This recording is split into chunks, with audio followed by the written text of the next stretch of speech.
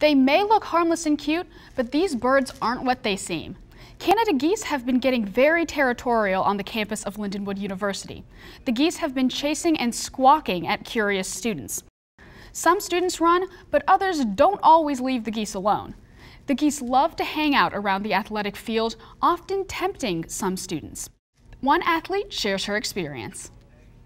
I was walking along the track and there was a goose just waddling along and I just thought, you know, he's really cute.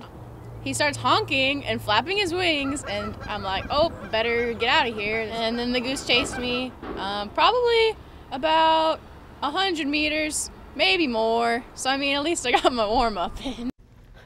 To prevent similar situations, the Lindenwood grounds team has taken preventative action. Flyers have been posted around the school, particularly around the athletes' field house. The flyers notify onlookers that the birds are protected by the Federal Migratory Bird Act of 1918 and that harming a goose or its egg could result in fines ranging from 5,000 to $10,000.